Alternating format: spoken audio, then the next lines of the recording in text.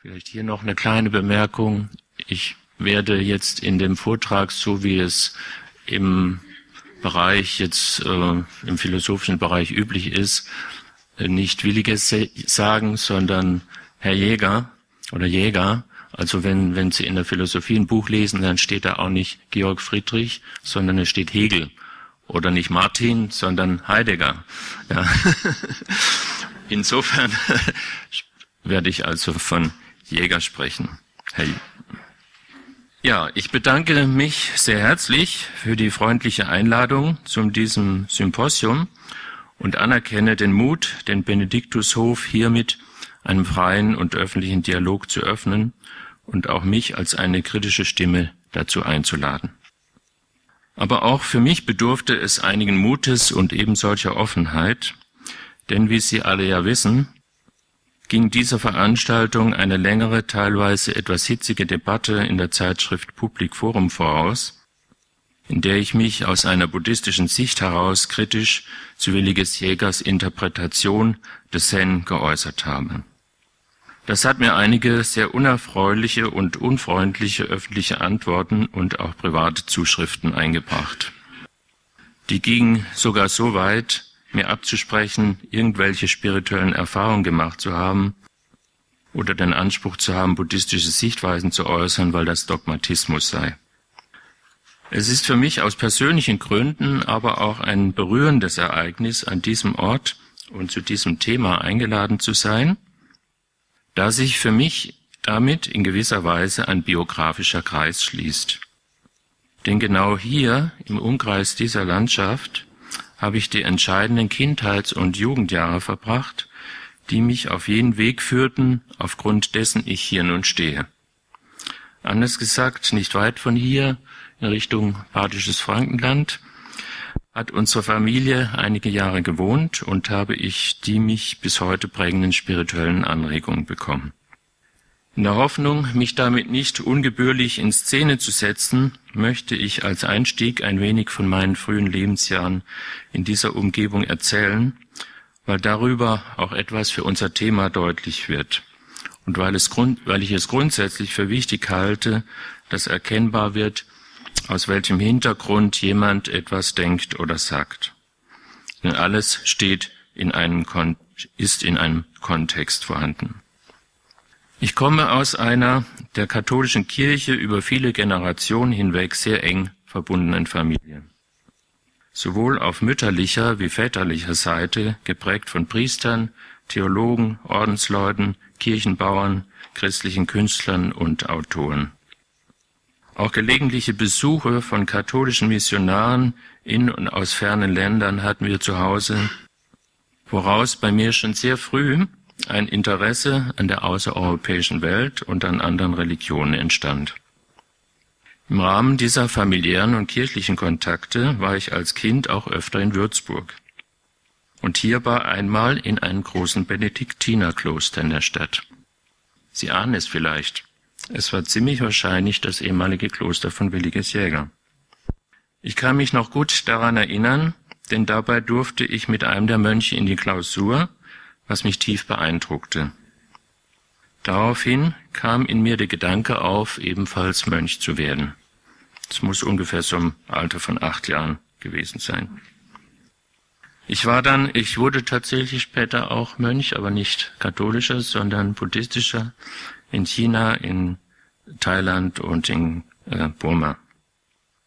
Ich war dann auch eifriger Ministrant und ich besuchte ein katholisches Internatsgymnasium der Palutiner in Buchen, einem Städtchen am Ostrand des Odenwalds.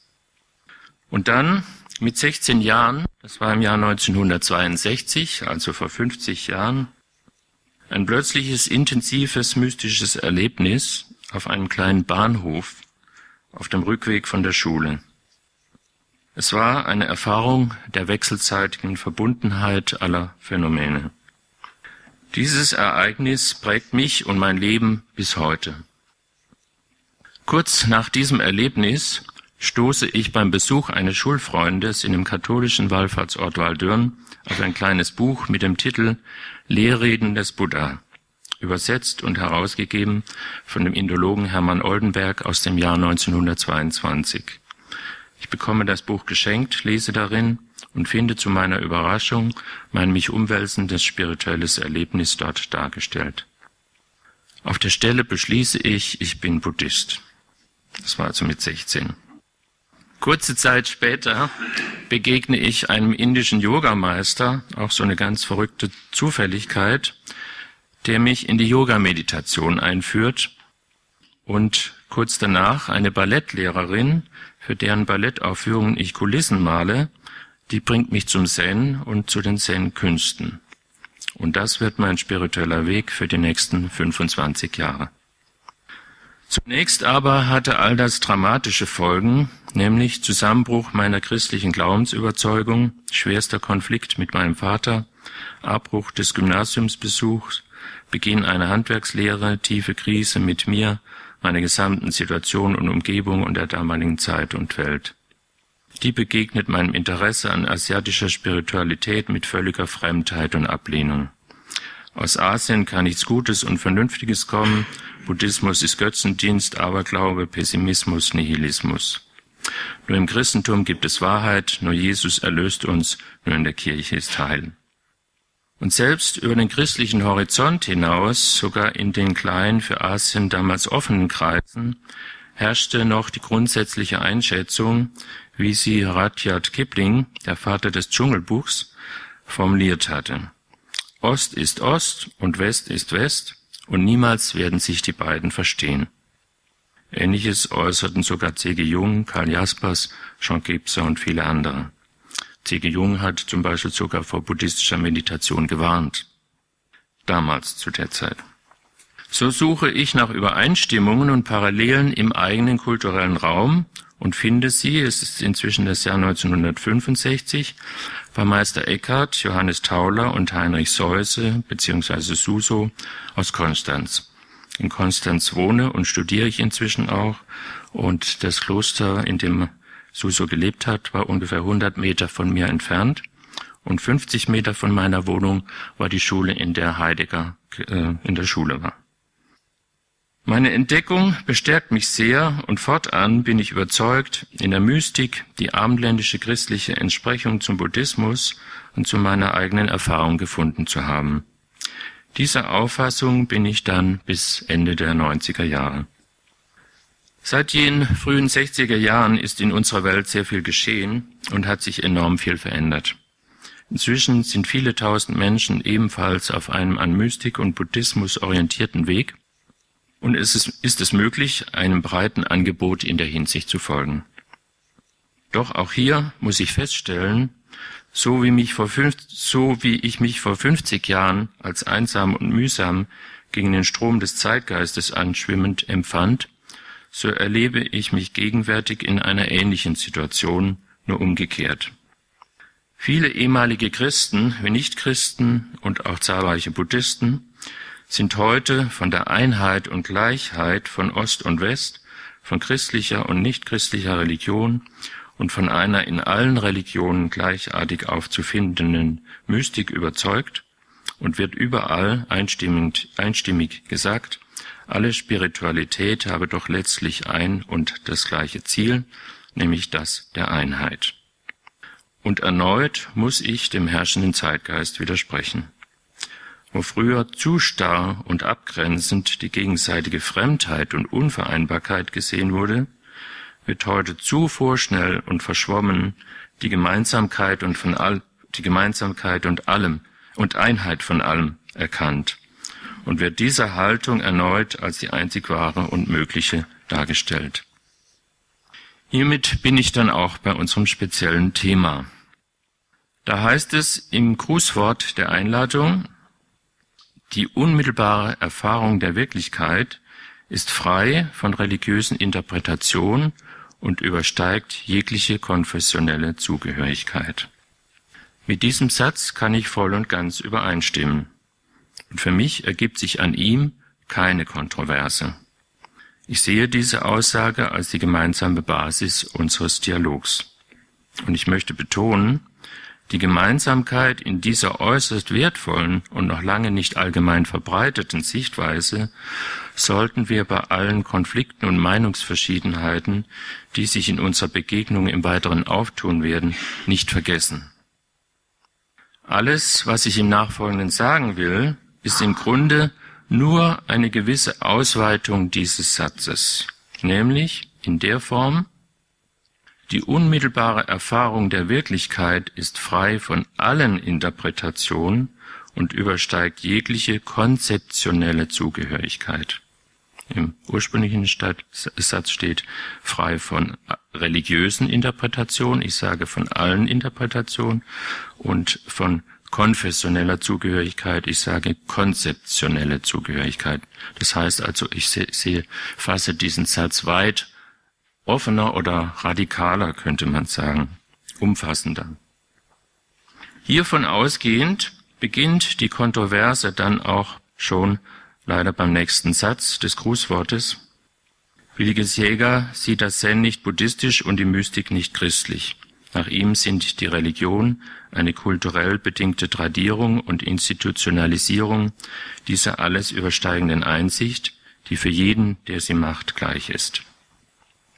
Weder der hier dargestellten Position Jägers noch der nachfolgenden Darstellung der Gegenposition kann ich folgen. Meinem Eindruck nach wird das tatsächliche Problem im Verhältnis von Williges Jäger zum Buddhismus, auf den er sich ja sehr stark bezieht und zurückführt, hier nicht gesehen. Das Problem besteht darin, dass Jäger eine ganz bestimmte spirituelle Erfahrung, die er gemacht hat und die er seither lehrt, als die unmittelbare Erfahrung der Wirklichkeit darstellt. Während die Mehrheitstradition des Buddhismus diese spezielle Erfahrung nicht einzig und allein als die unmittelbare Erfahrung der Wirklichkeit ansieht. Mit anderen Worten, aus buddhistischer Sicht verabsolutiert Jäger seine beziehungsweise eine bestimmte mystische Erfahrung, nämlich die Einheitserfahrung, die Erfahrung der Einheit von Sein und Bewusstsein, der Einheit von des einen und des vielen, als die Erfahrung, die in allen Religionen vorhanden sei,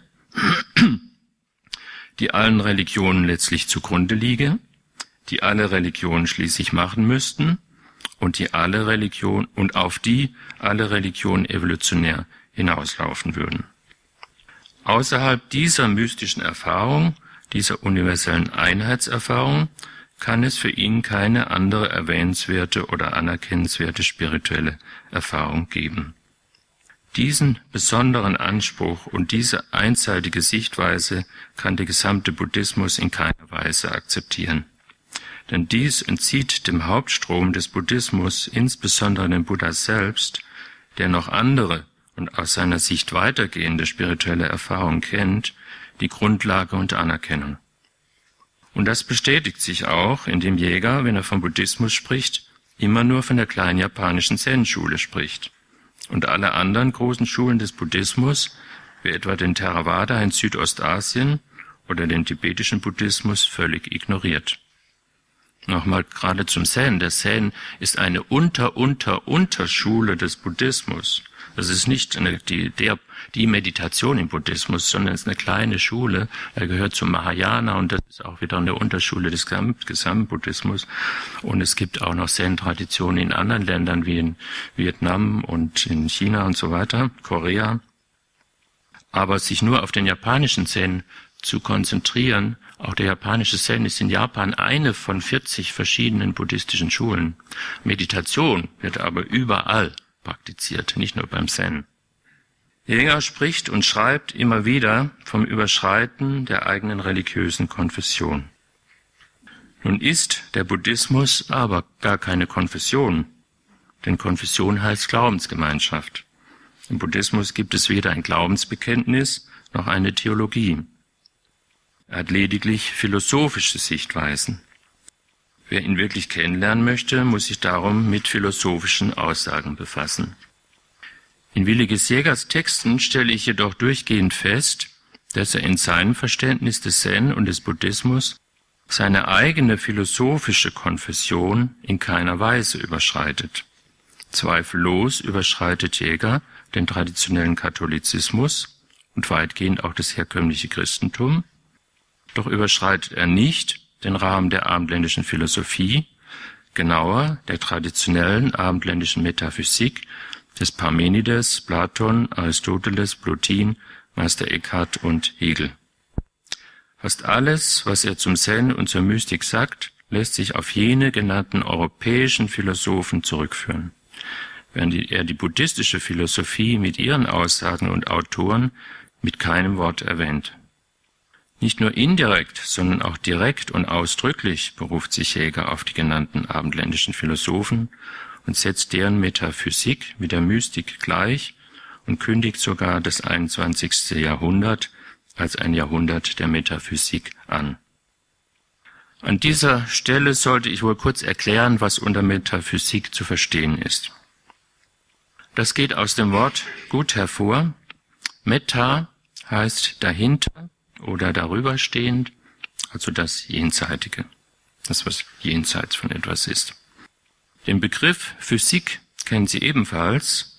Er darf in diesem Zusammenhang aber nicht mit dem gleichgesetzt werden, was wir heute damit meinen, nämlich die Physik als Naturwissenschaft. Vielmehr ist er im ursprünglichen antiken Sinne zu verstehen. Die Physis ist alles sinnlich wahrnehmbare körperliche, und das ist vor allem die Natur. Die Metaphysik befasst sich somit mit dem, was über die sinnlich wahrnehmbare Wirklichkeit hinausgeht. Also das rein geistige, die reine Vernunft, wie es bekannt heißt. Es ist das Sein an sich, das Wahre, das Ewige, das Gute, das eine, das Absolute, das Intelligible, wie es Platon nannte. Meister Eckhart bezeichnete es als Intellektus. Nur diese Dimension wird von den oben genannten Metaphysikern als wirklich anerkannt, während das Gegenteil, das Veränderliche, Vielfältige, Relative, Natürliche, Sinnliche als unwahr oder weniger wahr oder als nicht wirklich existent gesehen wird, als Schein oder Täuschung oder bloße Schattenwelt gilt. So vor allem bei Platon, der darum das auch Doxa nannte, Meinung, bloße Meinung. Nun ist die abendländische Philosophie allerdings seit circa 150 Jahren dabei, sich von dieser heute als Last gesehenen 2500-jährigen Tradition der griechischen und scholastischen Metaphysik zu befreien. Wir haben nicht nur die schwere Hypothek der amtskirchlichen christlichen Theologie, sondern auch die nicht minder schwere Hypothek der metaphysischen Deutung der Wirklichkeit zu bewältigen. Denn eine der Folgen dieser Sichtweise ist die abendländische Naturfeindlichkeit, die Körperfeindlichkeit, die Frauenfeindlichkeit und die Verherrlichung der Vernunft, der Rationalität und des Subjekts. Und alle bedeutenden Denker des 20. Jahrhunderts, seit Nietzsche und Freud, wie Husserl, Heidegger, Wittgenstein, Adorno, Guzzoni, Habermas, Foucault, Derrida, Watimo, Sloterdijk, Byung-Chul Han und so weiter, ich könnte noch eine lange, lange Liste aufführen, alle gehen heute diesen Weg der Verwindung der Metaphysik, wie es Heidegger nannte. Verwindung, damit meint er, es geht nicht um eine Überwindung oder Niederringung, eine Besiegung der Metaphysik, sondern es geht um eine Heilung, ein verschmerzten Verheilen, Ausheilen der Metaphysik. Das meinte Heidegger. Gerade die von Jäger vielfach beschworene neue religions- und kirchenkritische Spiritualität, also das, was hier auf dem Benediktushof praktiziert wird, ist ein unmittelbarer Ausdruck dieser Selbstkritik an der abendländischen Metaphysik. Heidegger, der selber aus einer urkatholischen Familie stammte und Priester werden wollte, nannte sie später Ontotheologie, die Einheit von Ontologie und Theologie, Ontologie, also die, die Wissenschaft vom Sein oder die Lehre vom Sein und Theologie, die Lehre von Gott und beides zur Einheit zusammengefasst ist Ontotheologie oder anders gesagt die Gleichsetzung oder die Ineinssetzung von Sein, Gott und Vernunft. Sie ist das, was auch die zentrale und fortwährende, fortwährend betonte Grundposition des gerade zurückgetretenen Papstes ausmachte, die unlösbare Verknüpfung von jüdischer Gottesoffenbarung und griechischer Vernunftphilosophie. Ohne die Kritik an der abendländischen Ontotheologie wäre Zen im Westen gar nicht möglich geworden. Heidegger war mit seiner Metaphysikkritik einer der Wegbereiter dafür. Nicht zufällig bildeten japanische Philosophiestudenten und frühe westliche Zen-Praktizierende seine treueste Schülerschaft. Und aufgrund dessen gibt es, wie Sie sehen, einen gravierenden Widerspruch zwischen dem, was beispielsweise japanische Zen-Praktizierende, die heute, also Philosophen, Philosophen jetzt, die meistens heute Heidegger Schüler sind, auf der einen Seite, also metaphysikkritisch, während Jäger ausges ausgesprochen Metaphysik freundlich ist. Das ist ein ziemlich gravierender Widerspruch. Williges Jäger schreibt der Religion die Aufgabe zu, zur Erfahrung der Wirklichkeit zu führen. Dem will ich nicht widersprechen. Doch verbirgt sich in Jägers Sicht eine Einschränkung und Festlegung, die, wie schon gesagt, aus buddhistischer Sicht nicht akzeptiert werden kann. Denn für Jäger ist die Erfahrung der Wirklichkeit letztlich eine metaphysische Erkenntnis, nämlich individuelle Gotteserfahrung, Einheitserfahrung, Selbsterfahrung. Erfahrung der Einheit meiner selbst mit dem absolut einen. Immer wieder gebraucht er hierfür das Bild von der Einheit der Welle mit dem Meer. Sie haben es gestern Abend ja auch oft gehört.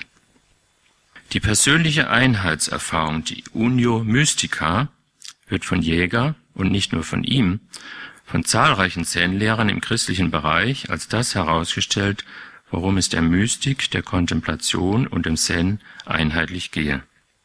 Das bedeutet nun aber, dass alles Nicht-Göttliche, Nicht-Eine, Nicht-Selbsthafte, Nicht-Absolute aus der direkten Wirklichkeitserfahrung ausgeschlossen ist.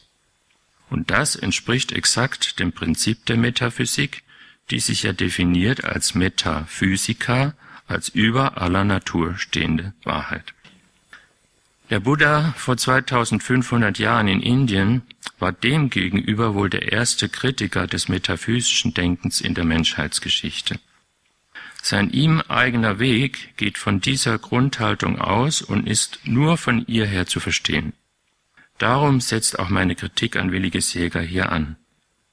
Jäger warf in seinem Public Forum Beitrag Pater Enomir Lassalle vor, dieser habe seine religiöse Konfession nicht überschritten und meinte damit, er selbst habe das getan. In den zahlreichen Veröffentlichungen Jägers wird jedoch deutlich, dass er seine Konfession, die des theologischen Monotheismus und des philosophischen Monismus, also der Orientierung auf das eine, also der abendländischen Ontotheologie, auch nicht überschritten hat. Er verbleibt komplett in ihr. Was er lehrt, ist eben doch ein christlicher Zen, genauer ein platonischer Zen. Es ist kein buddhistischer Zen und kein transkonfessioneller Zen. Einen solchen gibt es bisher auch nirgendwo. Die abendländische metaphysische Sichtweise von Jäger wird sehr deutlich, wenn er auf seine Interpretation des Bildes von der Welle und vom Meer zu sprechen kommt. Sein Verständnis beruht auf dem Konzept vom Ganzen und vom Teil, vom einen und vom vielen. Das Meer ist das Ganze und eine, die Welle ist das Teil und viele, und das Ziel besteht darin, dass sich die Welle, also das Teil und viele, als eins mit dem Meer, dem Ganzen und einen erfährt. Völlig anders die Sichtweise des Buddhismus. Hier geht es darum, zu erkennen, dass es letztlich weder das Meer noch die Welle gibt, dass beides nur Konzepte sind, in der direkten konzeptfreien Wahrnehmung gibt es lediglich Wellen von Wellen von Wellen. Nur unbegrenzte fließende Gegenwart. Es gibt kein Meer, sondern es gibt unendlich viele Wellen. Und diese Wellen bestehen wieder aus Wellen und diese Wellen wieder aus Wellen. Und das ist das, was wir direkt wahrnehmen. Wir nehmen kein Meer wahr, sondern nur das, was sich bewegt.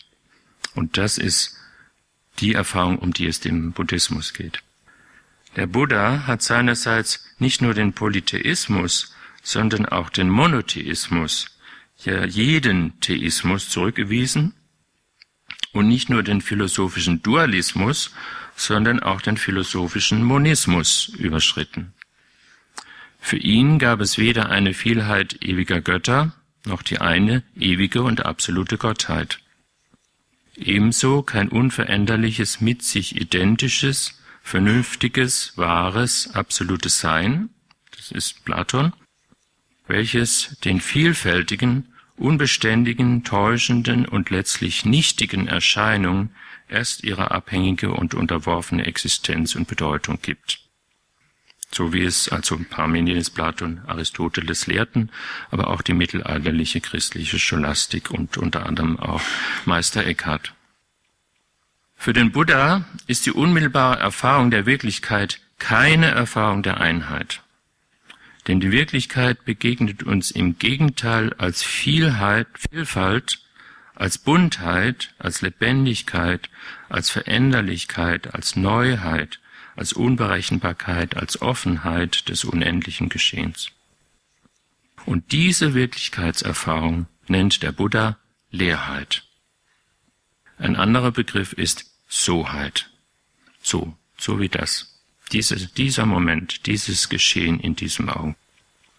Der buddhistische Begriff Leerheit ist deshalb weder etwas, äh, weder etwas mit dem Begriff, nein, hat deshalb weder etwas mit dem Begriff nichts noch mit dem Begriff Einheit zu tun. Diese beiden gegensätzlichen Begriffe mit Einheit gleichzusetzen, ist ein völliges Missverständnis dessen, worum es dem Buddha und dem Buddhismus geht. Wer, dem, wer demnach in seiner meditativen Praxis Einheit erfährt, erfährt nicht Leerheit. Und wer Leerheit erfährt, erfährt nicht Einheit. Es sind zwei verschiedene Wege und Erfahrungen, die allerdings auch nicht voneinander getrennt werden können, denn sie sind komplementär. Und das ist jetzt auch wichtig.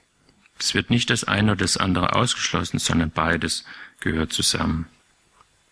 Die Erfahrung der Einheit ist die Erfahrung der Mystik. Jeder Mystik, der Mystik aller Religionen, auch der Mystik, die es im Buddhismus gibt. In diesem Punkt ist Seger voll zuzustimmen. Buddhistische Spiritualität ist jedoch nicht nur Mystik und Einheit. Sie ist auch und weit mehr Erfahrung des Sunyata, der Leerheit, der Soheit. Und diese Erfahrung der Wirklichkeit ist überall zu finden, nicht nur in der Religion, auch in der Philosophie, in der Wissenschaft, in der Psychologie, in der Kunst, in der Arbeit, im Essen und Trinken, in der Kommunikation, in der körperlichen Bewegung, in der Erotik und Sexualität, in der Begegnung mit der Natur, im Erleben all unserer momentanen sinnlichen Empfindungen. Kurz im Leben in all seinen Dimensionen, Facetten und Aspekten. Das alles sind jedoch Bereiche, die im Abendland aus der Religion und Philosophie weitgehend ausgeschlossen oder von diesen stark eingeschränkt und reglementiert wurden. Das Leben durfte sich nicht in seiner, Viel äh, in seiner Lebendigkeit zeigen und entfalten, sondern alles sollte sich dem Diktat des unveränderlichen, absoluten, vernünftigen Ein unterwerfen. Und das ist mehr denn je heute ja das Problem der katholischen Kirche. Das veränderliche, vielfache, ungreifbare, nicht eine, bedroht die auf das eindeutige Objekt und den festen Begriff gerichtete, identifizierende Vernunft. Und damit wiederum das auf die Vernunft gegründete rationale Subjekt. Die abendländische Geistesgeschichte ist eine fast ausschließlich auf die Selbsterhaltung, Selbstbestätigung, Selbstverwirklichung, Selbststeigerung zielende Kultur. Darum muss alles auf das eine und die Einheit mit dem einen ausgerichtet werden. Gott ist diese Einheit, er ist das absolute Ich.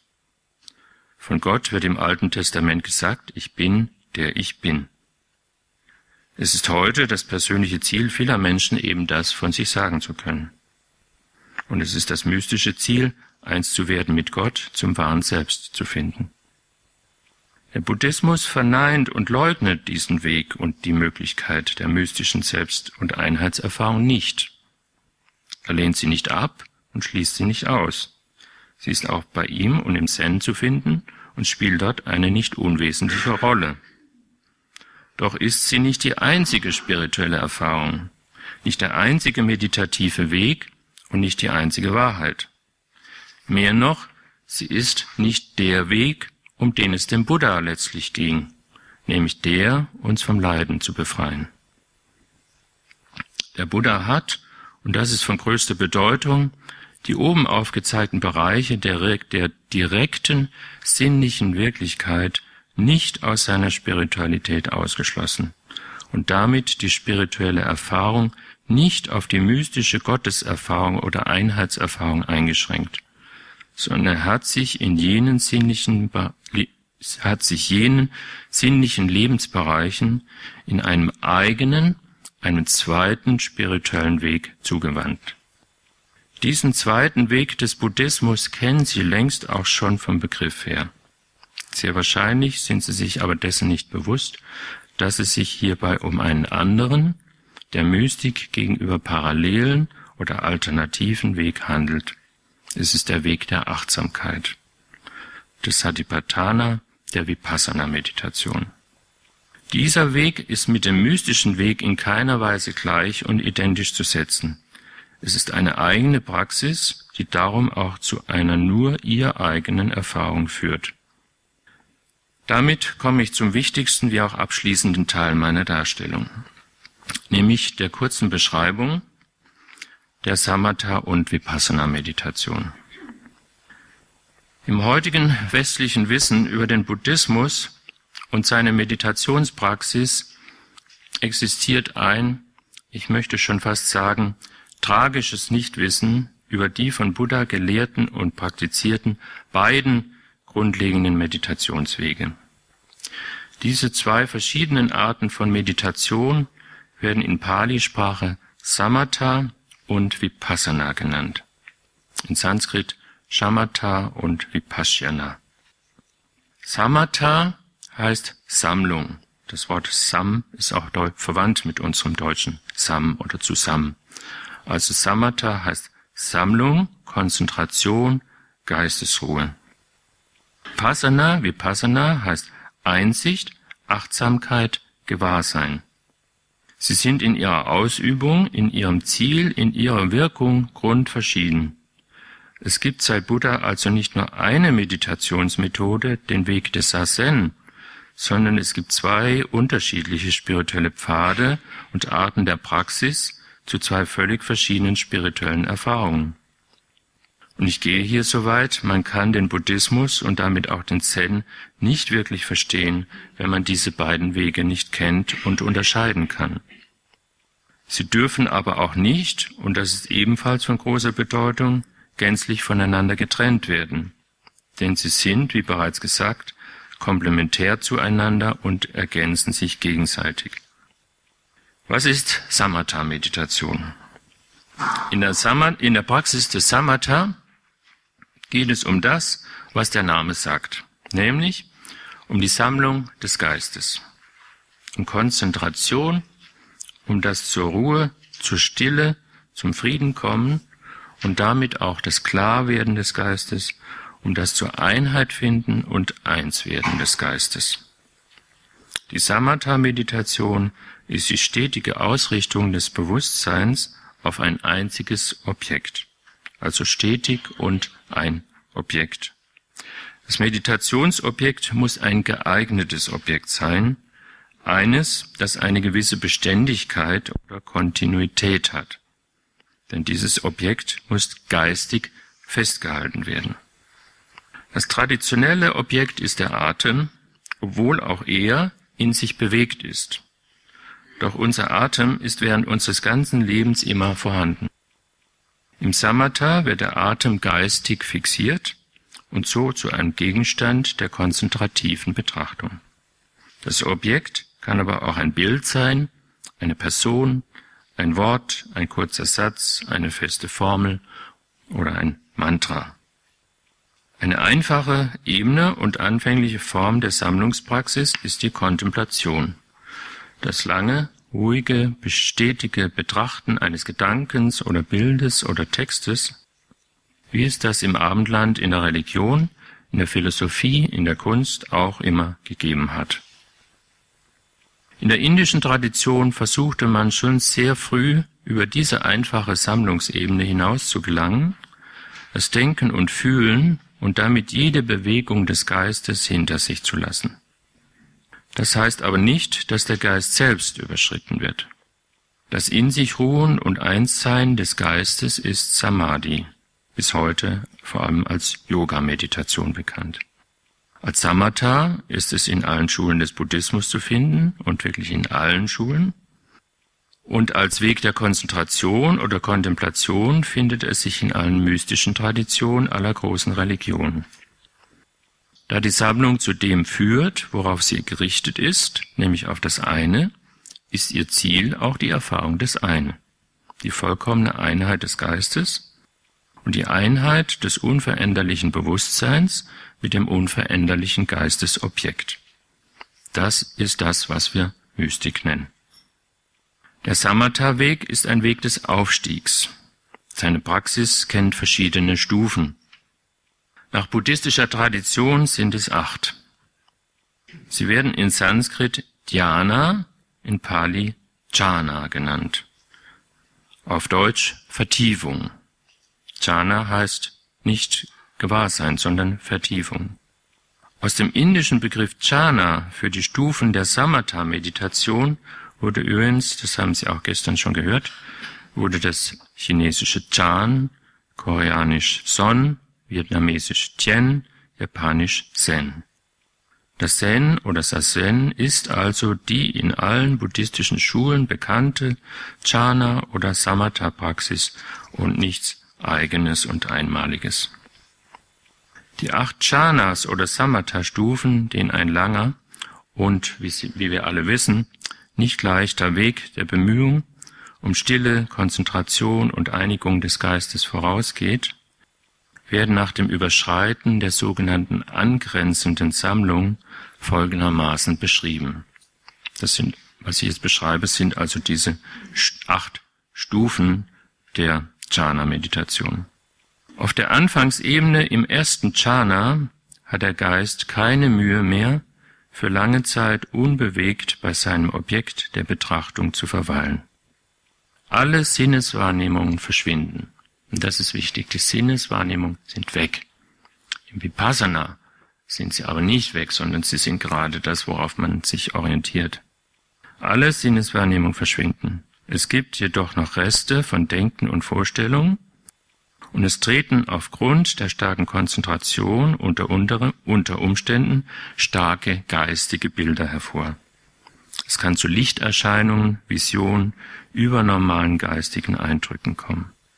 Im zweiten Jhana endet die Gedankentätigkeit, der Geist bleibt sehr stabil beim Objekt, was zu überwältigender Freude und Verzückung führt. Im dritten Jhana wird diese Freude stiller und subtiler und es tritt ein Zustand von großer, sanfter Glückseligkeit ein.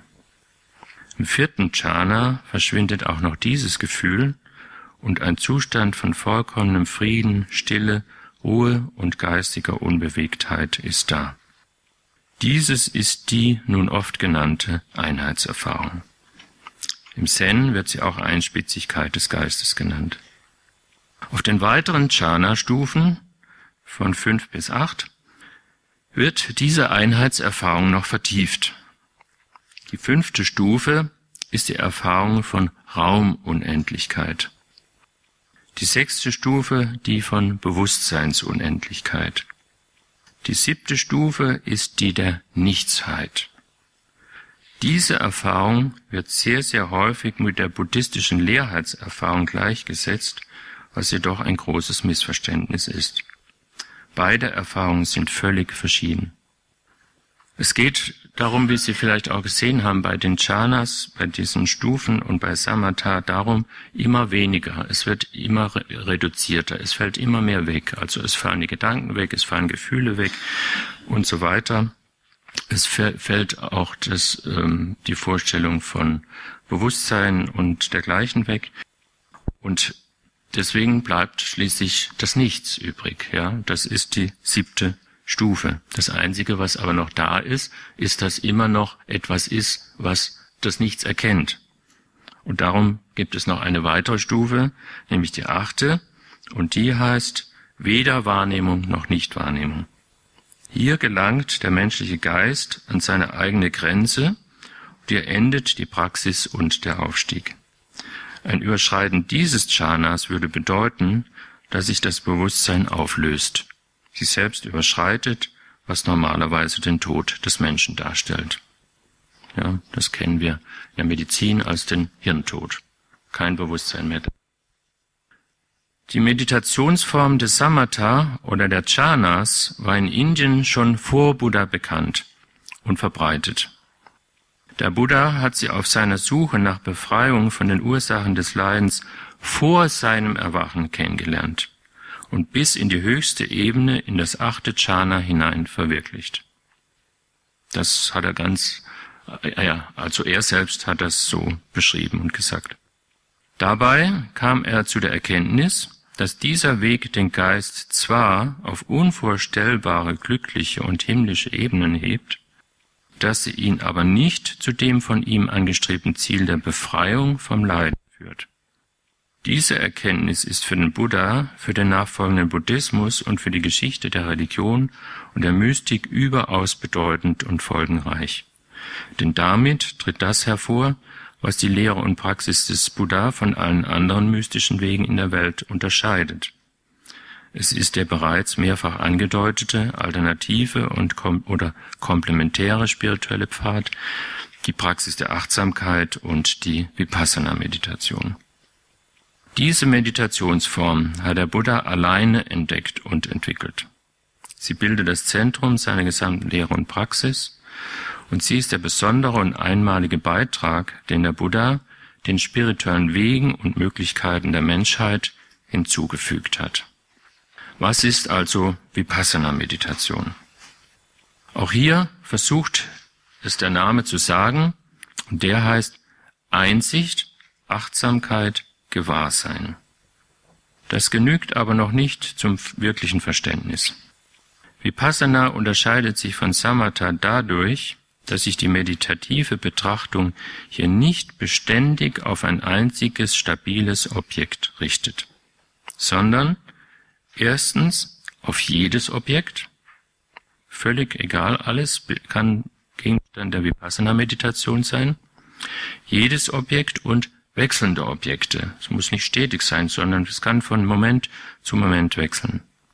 Wechselnde Objekte. Und zweitens, nicht auf ein unbewegliches, dauerhaftes, festes Objekt, sondern umgekehrt die Vielfalt, Unbeständigkeit, Prozess und Momenthaftigkeit aller Erscheinungen wahrnimmt. Und als solches ist Vipassana drittens auch nicht vorwiegend auf geistige Objekte ausgerichtet, sondern insbesondere auf unsere Sinneswahrnehmung, auf das Sehen, Hören, Riechen, Schmecken und insbesondere das Tasten und die körperlichen Empfindungen. Vipassana braucht ein gewisses Maß an Samatha, an Konzentration, Klarheit und Stille des Geistes, um praktiziert werden zu können. Deswegen kann im Allgemeinen auf die Samatha, also die Jhana oder Konzentrationspraxis, nicht verzichtet werden. Vipassana ist aber nicht ausschließlich auf den Geist, das heißt auf das Denkbewusstsein und dessen Objekte fixiert, wie die Samatha-Praxis und die Mystik, sondern zunächst vor allem auf den Körper gerichtet, dann auf die Gefühle, dann auf den Zustand des Geistes und dann erst auf die Inhalte des Geistes. Die dort gewonnenen Eindrücke werden nicht als Einheit erfahren. Das ist hier auch gar nicht möglich, denn alles Sinnliche ist, wie schon gesagt, nur als Vielfalt und Veränderung da. Die unmittelbare sinnliche Erfahrung der Wirklichkeit wird stattdessen als Offenheit oder Leerheit erfahren.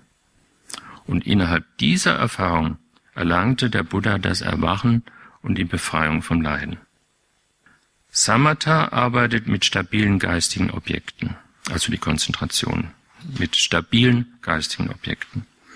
Und das heißt mit Konzepten und inneren Vorstellung. In der Samatha-Meditation wird der Atem zu einem inneren geistigen Objekt. Darum führen jene auf den Jhana-Stufen auch gelegentlich zur Vision.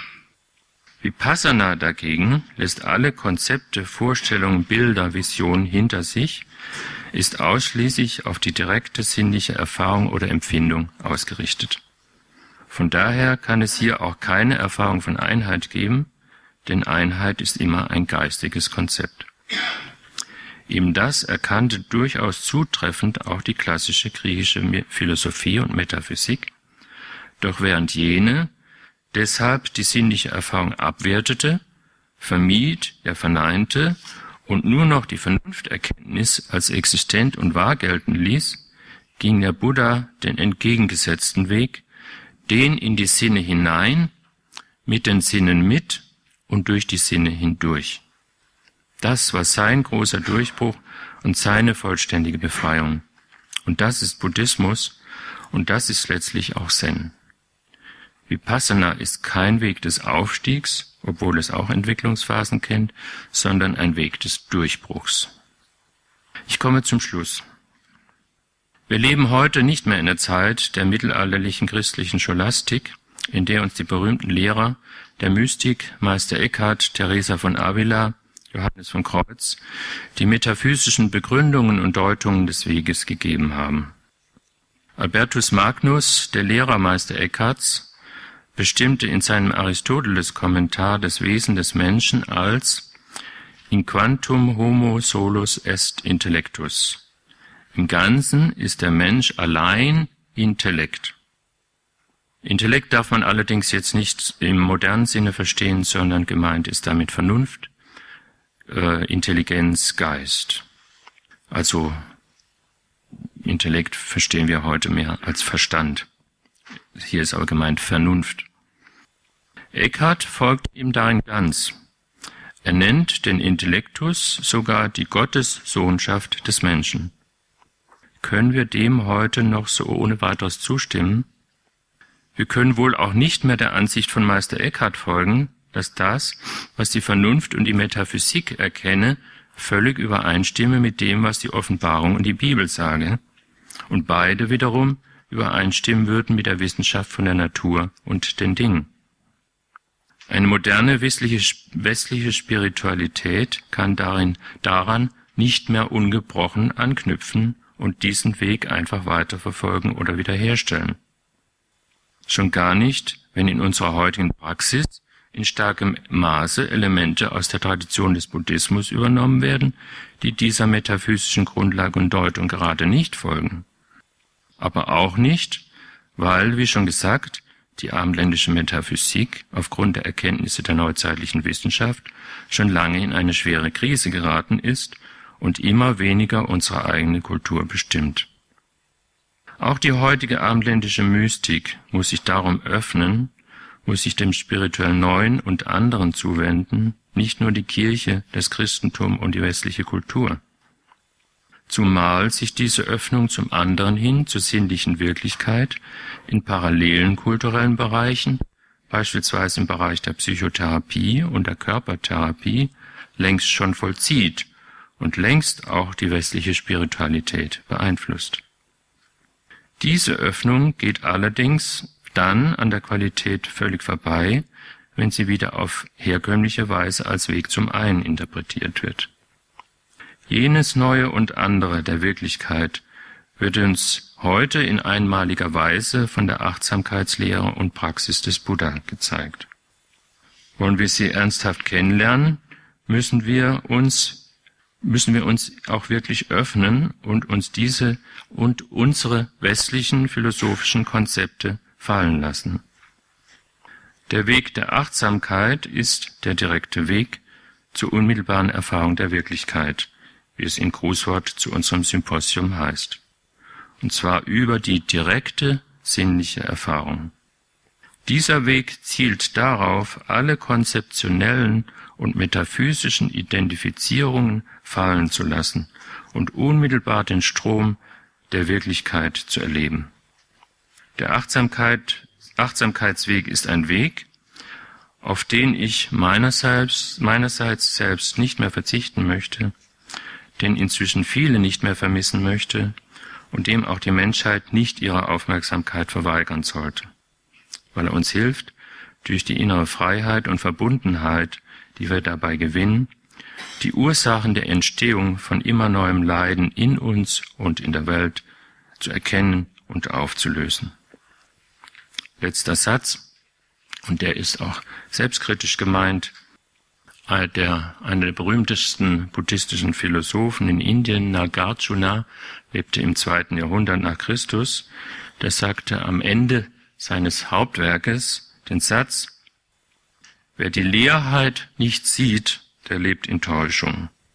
Wer die Leerheit sieht, dem ist nicht mehr zu helfen. Vielen Dank.